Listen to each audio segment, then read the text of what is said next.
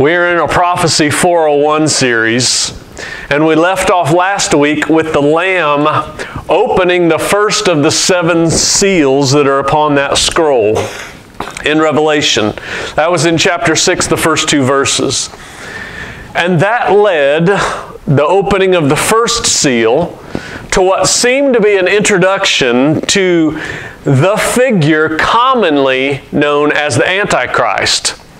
Paul, as you can see, called him the man of lawlessness in Thessalonians.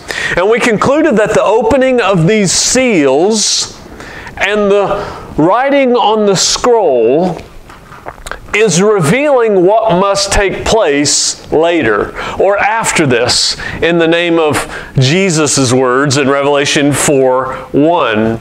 So if the seals and the scroll reveal what is to take place later, meaning still later, later than our day, coming in the future. If that's true, then it might benefit us sitting where we are now, in the time we are now, to figure out what it is that He's uncovering to us, what He's revealing to us about what may yet what will yet come. Let me suggest to you there's a pretty easy, pretty clear way to figure out what is being revealed. and that is to lay down the opening of the seals on the scroll in Revelation chapter 6 with Jesus' Olivet discourse in Matthew chapter 24. I'll keep a running total of the seals up on the screen here so that we can keep track of where we are as best as possible. So let's start there in Matthew chapter 24, verse 1. Jesus left the temple and was going away from the temple when the disciples came to point out to him the buildings of the temple. It was a magnificent, grand structure. Just know that. It was incredible, huge, stories and stories high, huge walls, beautiful architecture. You see the beauty of these, these buildings. But Jesus said in verse 2 You see all of these? Don't you? Do you not? Truly I say to you, there will not be left here one stone upon another that will not be thrown down.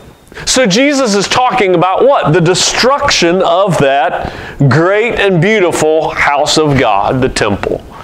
And then in verse 3, as Jesus sat on the Mount of Olives, after revealing that to his disciples, those disciples came to him privately and said, Tell us, when will these things be?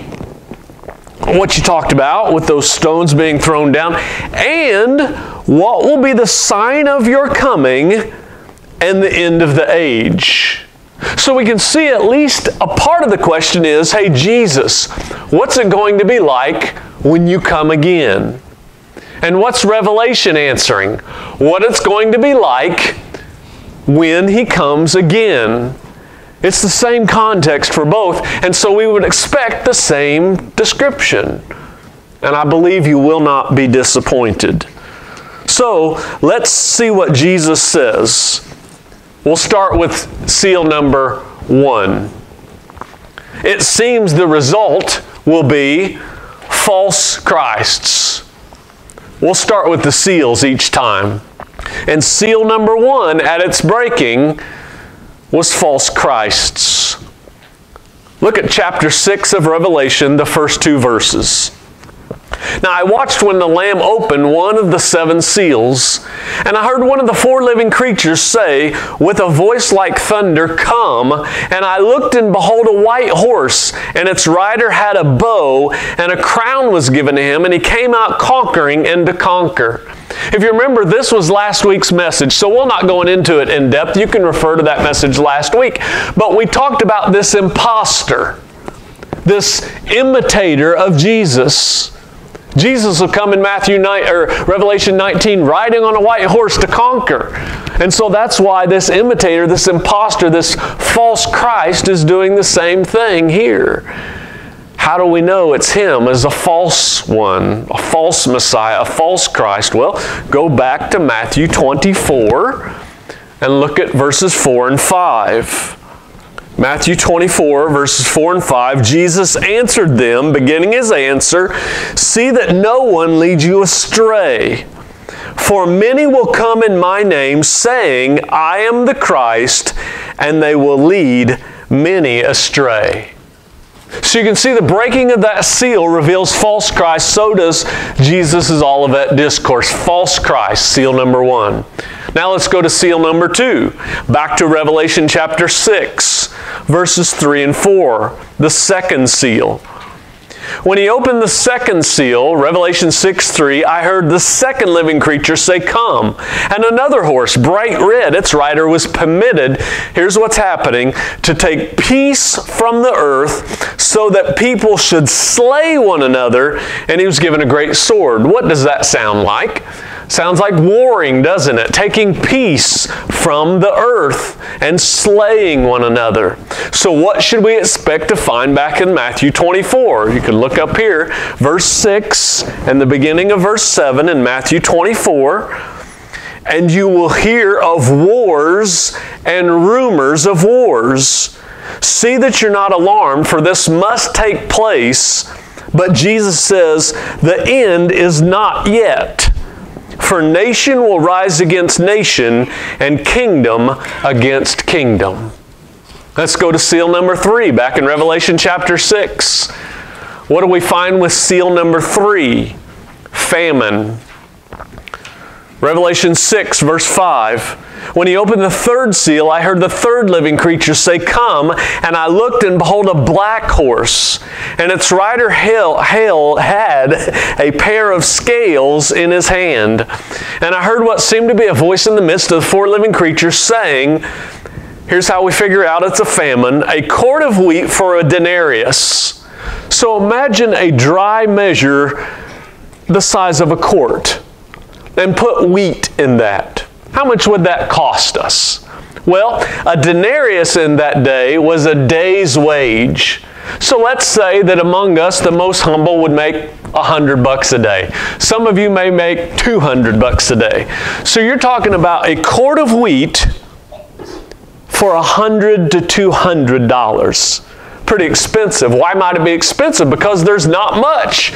When supply goes down, cost goes up and also three quarts of barley for denarius, and don't harm the oil and the wine. So cost is going up for goods because they're scarce. How do we know that? Well, go back to Matthew 24. Matthew 24, continuing in verse 7, and there will be, what's it say? Anybody out there? Famines. Famines. And there will be famines and earthquakes, right? And now let's go back to seal number four, Revelation chapter 6, verse 7. When he opened the fourth seal, I heard the voice of the fourth living creature say, Come. And I looked, and behold, a pale horse, and its rider was Death, and Hades followed him. And they were given authority over a fourth of the earth to kill with sword, famine, pestilence, and by wild beasts of the earth. And so now, the breaking of seal number four reveals that death is going to come upon the earth. We saw the famines, we've seen the earthquakes, and now a new mention is the pestilences. Death by pestilences. Now, Matthew's account doesn't share this with us, but Luke, in his account, that is a mirror image of it, does. You can see it up here on the screen from Luke chapter 21, verse 11, where he writes, There'll be earthquakes, and in various places famines and pestilences. The very same thing we see in Revelation, and there'll be terrors and great signs from heaven. So, with the first four seals, we can go back to those. We see false Christs, wars, famines and death by pestilences. Things are getting serious upon this earth, but they're about to turn from bad to worse. Because when we get to seal number five in Revelation chapter 6, where in verse 9, when he opened the fifth seal, I saw under the altar the souls of those who had been slain. Why? For the word of God and for the witness they had borne. They cried out with a loud voice, O sovereign Lord, holy and true, how long before you judge and avenge our blood on those who dwell on the earth? They were each given a white robe and told to rest a little longer until the number of their fellow servants and their brothers should be complete. That is, those who were to be killed as they themselves had been. So at seal number five, we see not just false messiahs, false Christ, wars and famines and plagues, but now we see outright martyrdom. How long, O Lord, will you avenge our blood? Those who had been slain for the Word of God and the testimony of Jesus, that man of lawlessness, that Antichrist, that impostor, is going to impose his death sentence upon those who worship God and hold to the testimony of Jesus. That's what's coming upon this earth. Now, can we reinforce that with Matthew? Well, go back to Matthew 24. We're in verse 9 of that as well. Matthew 24. He expounds on this through a lot of Matthew 24 because this is where it gets serious. So let's start in Matthew 24 9 says, Then they will deliver you up to tribulation and put you to death. What did we just see at the breaking of the fifth seal? Martyrdom, death. Then they will deliver you up to tribulation and put you to death, and you will be hated by all nations for my name's sake. And then many will fall away and betray one another and hate one another. And many false prophets will arise and lead many astray. We saw that last week with this false Messiah, this false prophet coming up. The two of them. In verse 12, because of lawlessness and its increase, the love of many will grow cold. But the one who endures to the end will be saved, and this gospel of the kingdom will be proclaimed throughout the whole world as a testimony to all nations, and then the end will come. So, verse 15, he continues on this same theme with what's happening with the fifth seal. seal. When you see the abomination of desolation spoken by the prophet Daniel standing in the holy place, let the reader understand and let those who are in Judea flee to the mountains. Let the one who's on the housetop not go down to take what's in his house. And let the one who is in the field not turn back to take his cloak. And alas, for women who are pregnant and for those who are nursing infants in those days, it'll be terrible. Pray that your flight may not be in winter or on a Sabbath. For then, in this time, coming upon the world, there will be great tribulation. How great? Such as has not been from the beginning of the world until now, and no, never will be again. And if those days had not been cut short, no human being would be saved. But for the sake of the elect, those days will be cut short. Then, if anyone says to you, Look, here's the Christ, or there he is, don't believe it, for false Christ and false prophets will arise, perform great signs and wonders, so as to lead astray, if possible, even the elect. See, verse 25 I've told you beforehand. So if they say to you, Look, here he is in the wilderness, don't go out. If they say, Look, here he is in the inner rooms, don't believe it. For as lightning comes from the east and shines as far as the west, so will be the coming of the Son of Man. For wherever the corpse is, there the vultures will gather. This fifth seal is revealing a great unequaled tribulation that is coming upon this world at the hand of this man of lawlessness, this Antichrist, and comes upon the world. And it is going to be a time of martyrdom for those that hold to the Word of God and the testimony of Jesus. It is such a severe time of persecution that no human would survive unless God called an end to it before he was done executing it. That's the only way anyone is going to survive. It's a gruesome, horrible time, but Jesus says, I'm telling you this ahead of time so that you can know what is coming. We spoke last week that the false Antichrist would make war on the saints and conquer them. Here it is. You can see it from Revelation chapter 13, verse 7. And it, that beast, was allowed to make war on the saints and to conquer them. Now keep in mind, church, and this is certainly what we see in both accounts, that faith in the one true God and the testimony of His Son, listen to me, throughout history, faith in God and the testimony of His Son has drained the blood of many a martyr throughout history. So you might be saying, why? Why would God allow such a thing as has been described here clearly in Revelation 6 and clearly in Matthew 24 with the killing of Christians? Why would He allow it like that? And if we ask that question, why He would allow it like that now, here, today, in this day, we've got to allow this question why would He then ever allow it? But he has.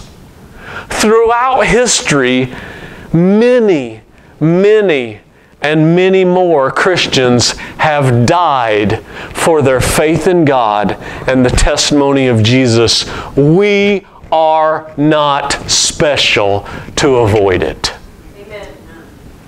It is what makes us special in that we do not love our lives even unto death.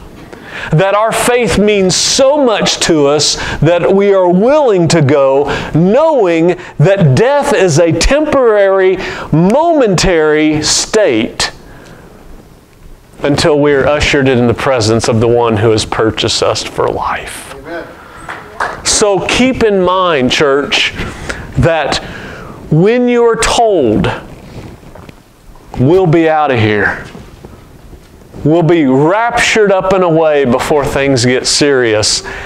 It's not what we've read, and it doesn't fit the precedent of God who, who allows His people to experience suffering and hardship unto His glory.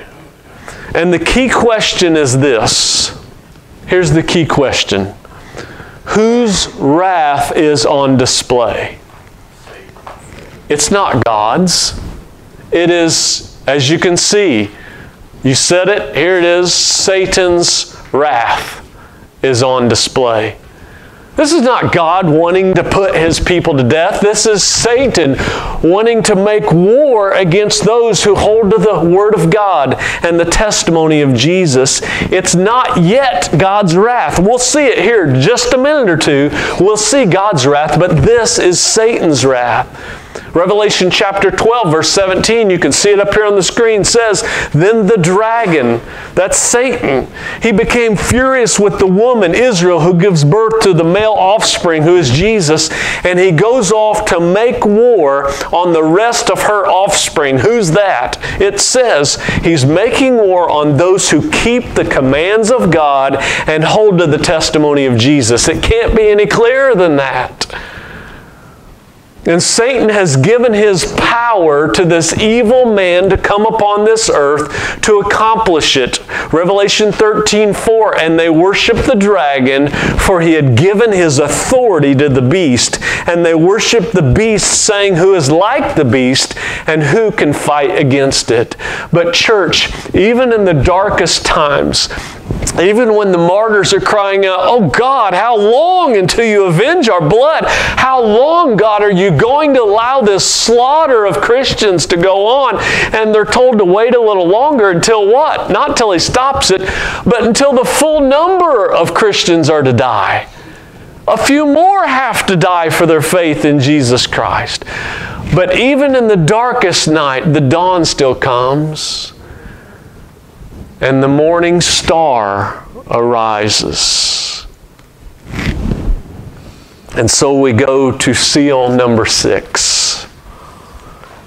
Revelation chapter 6, verse 12 and following. And when he opened the sixth seal, I looked, and behold, there was a great earthquake. And here are the key phrases the sun became black as sackcloth, the full moon became like blood, and the stars of the sky fell to the earth as the fig tree sheds its winter fruit when shaken by a gale. And the sky vanished like a scroll that's being rolled up, and every mountain and island was removed from its place. Now, what do you think Matthew says about that? Go over to Matthew 24, verse 29 is where we left off. Immediately, Matthew 24, 29. After the tribulation of those days, the sun will be darkened, and the moon will not give its light and the stars will fall from heaven, and the powers of the heavens will be shaken, and then will appear in heaven the sign of the Son of Man. What does this sign reveal when the sun is dark and the moon does not give its light and the stars fall from the sky? We saw it in Revelation 6, we see it in Matthew 24. What's this revealing? It's revealing, it's indicating that the day of the Lord is imminent. That's what it's revealing. That's what we're seeing now is that Satan, the evil man, the man of lawlessness have had their day, but now the day of the Lord is imminent. And Joel chapter 2, verse 31, as you see it up here, says that the sun will be turned to darkness and the moon to blood before the great and awesome day of the Lord comes. And it is a day of wrath the wrath of God. Zephaniah chapter 1, verses 14 and 15. The great day of the Lord is near, near and hastening fast. The sound of the day of the Lord is bitter. The mighty man cries aloud there. A day of wrath is that day. Notice the mighty man cries aloud. Why? Because he is terrified of what is coming when Jesus returns. And so, what is their response? Revelation chapter 6. Let's keep reading. Revelation chapter 6, verse 15 is where we left off. The response then the kings of the earth and the great ones and the generals and the rich and the powerful and everyone, slave and free, hid themselves in the caves and among the rocks of the mountains, calling to the mountains and the rocks, Fall on us and hide us from the face of him who is seated on the throne and from the wrath of the Lamb, for the great day of their wrath has come, and who can stand? What is the response of the sun and the moon and the stars and the seeing Jesus in the sky? Oh my, I think we're in a bit of trouble here. And that's what Matthew says as well. Go back to Matthew 24, verse 30.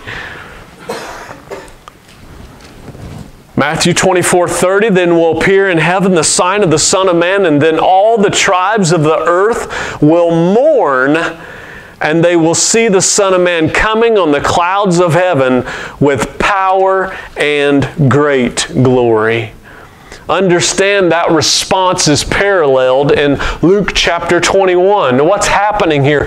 Times are changing, things are changing. Jesus is stepping back in to time when the man of evil, the wicked man, has had his day. And Jesus steps in, and all of those who join him are in fear and terror because of the coming of Jesus. And I want you to look at Luke chapter 21 up here on the screen when it says, There will be signs in the sun and the moon and the stars, and on earth distressing of the nations in perplexity because of the roaring of the sea and the waves, and people fainting with fear and with foreboding of what is coming on the world, for the powers of the heavens will be shaken. So the day of the Lord has come. And along with that, his wrath. But, but before, before his wrath is poured out upon the earth, there are two events that act as an interlude in chapter 7 because we don't get to the seventh seal in chapter 8 until 8. So it's a pause, if you will. The sign of his coming has happened. The sun, moon, and stars, they've seen Jesus. They've become afraid. Oh no, his wrath is here. But two things have to happen before that happens his wrath. And that is number one, as you can see it up here on the screen, before his wrath, he seals the 144,000. That's chapter 7 of Revelation, the first eight verses. We're not going to read that because we'll talk about that next time. But chapter 7, the first eight verses, is the sealing of the 144,000. That's the first act before the wrath. And the second act, as you can see it up here, is this, and it's important. He's got to get the church out of the way. Those that are left, those that have made it through the martyrdom, have to be taken out of the way before the wrath of God and the Lamb have come. And that is chapter 7, starting in verse 9 and following. Let's look at it together. Please stay with me. After this I looked, and behold, a great multitude that no one could number. From every nation, all the tribes, all the peoples, and all the languages, standing before the throne and before the Lamb, clothed in white robes and with palm branches in their hands. And they cried out with a loud voice, Salvation belongs to our God who sits on the throne and to the Lamb. And all the angels were standing around the throne and around the elders and the four living creatures. And they fell on their faces before the throne and worshiped God, saying, Amen. Blessing and glory and wisdom and thanksgiving and honor and power and might be to our God forever and ever. Amen. Let it be.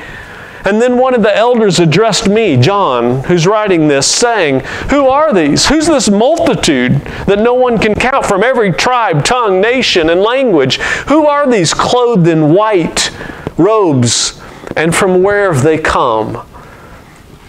And John responds, Sir, you know. And so he said to John, These are the ones coming out of the great tribulation they have washed their robes and made them white in the blood of the Lamb. Therefore, verse 15, they're before the throne of God and serve Him day and night in His temple, and He who sits on the throne will shelter them with His presence.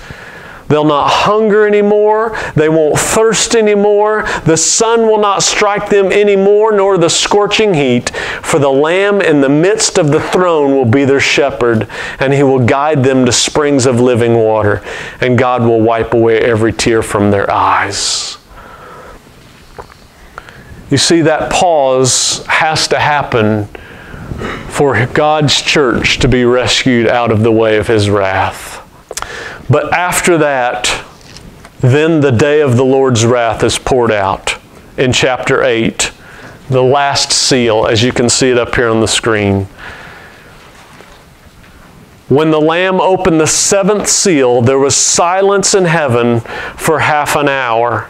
Why? We'll talk about it. But I believe the silence is because things are going to get really serious. And I saw the seven angels who were standing before God, and seven trumpets were given to them, and another angel came and stood at the altar with a golden censer. And it was given much incense to offer the prayers of the saints on the golden altar before the throne, and the smoke of their prayers rose before God from the hand of the angel. And then the angel took the censer and filled it with fire and the altar and threw it on the earth, and there were peals of thunder, rumblings, flashes of lightning, and an earthquake. And verse 6 the seven angels who had the seven trumpets, which are the wrath of God, which we will see coming up in this series, prepared to blow them. This is the same thing that we find in Matthew chapter 24, where after the rescue, we see the wrath. Go back to Matthew 24. We're getting the church out of the way. Verse 30 Matthew 24, 30. Then will appear the sign of the Son of Man. All the tribes of the earth will mourn. They'll see him coming on the clouds with power and great glory. Verse 31. And he will send out his angels with a loud trumpet call to gather his elect from the four winds to get the church out of the way from one end of heaven to the other. And then he gives a lesson on a fig tree and then in verse 36, no one knows exactly the day or the hour, but verse 37 of Matthew 24, as it was in the days of Noah, so it will be at the coming of the Son of Man. For in those days of the flood, they were eating and drinking, marrying and giving in marriage, thinking everything was going to continue until the day Noah entered the ark. They were unaware until the flood came and swept them all away. It is rescue and then wrath. Rescuing the church and then the wrath of God being poured out on the earth, which we will get into. Let me conclude. All seven seals have been broken, and the contents of the scroll can now be revealed, read. And the contents reveal that God has decided to exact his vengeance upon those who remain on the earth. But keep in mind, church, that before God's wrath comes, not before Satan's, but before God's wrath, which is much greater, God has gathered those that belong to him up and out of the way. Paul reminds us in 1 Thessalonians chapter 1 verse 10 that we are waiting for his son from heaven, what we just saw, whom he raised from the dead, Jesus, who delivers us from the wrath to come. God's the wrath of the Lamb. But here's my concern, church, and with it I'll close. Paul talked about the burden that he carries for the church, the churches. And my concern my burden concerning the church is that great falling away that Jesus spoke of. I fear that American cultural Christianity, some of you, some of you, that I want to call my brothers and sisters in Christ, that when that man of lawlessness, that wicked man, shows up and starts demanding allegiance and worship, starving us out without the ability to buy and sell, I fear that those I want to call my brothers and sisters in Christ will instead sell their soul for a false security.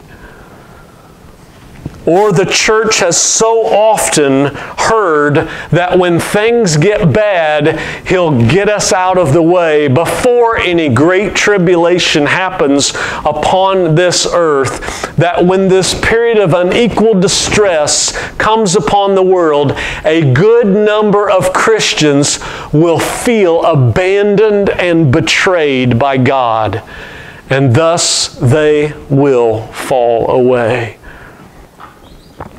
when He doesn't rescue them. It grieves me, it concerns me. I know it is the predominant story in the Church of Jesus Christ that if these things, as told, happen as they are, that the church is caught away in some secret rapture before the man of lawlessness, before the tribulation, but we've laid them down side by side, and we see that the rescue only comes before the wrath of God, not before the wrath of Satan. And I want little more than to prepare you, to prepare the church the mind of the church for such a time. And that's why we'll go back to chapter 7 next time. But suffice it to say for this day that the wickedness that is coming upon this world someday, like never before, and the persecution that is coming upon this world like never before, and the martyrdom that is coming upon this world like never before when it comes, just as John fell down at the feet of the glorified Jesus, and Jesus put his hand upon him and said, John, do not fear. I was dead, might I add, too, but I am alive forevermore. That same Jesus rests his hand upon his Christians, his believers, his followers, the church of Jesus Christ. And he says, Don't fear, I am the living one. I was dead, and behold, I'm alive forevermore. I am the living one, and I'm with my people in life as I am with them in death. And he will not leave us nor forsake us, even unto death. I think that when we lay the seals of the scroll down next to Matthew 24, it's really not so hard to understand. It's just hard to accept.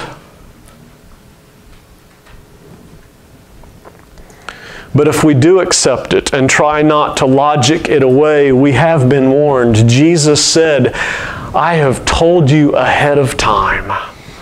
And knowing is the first step in preparing. Preparing my heart, preparing my mind, preparing my family and their faith, and preparing with each other. For the promise stands true the one that endures to the end will be saved. Let's pray.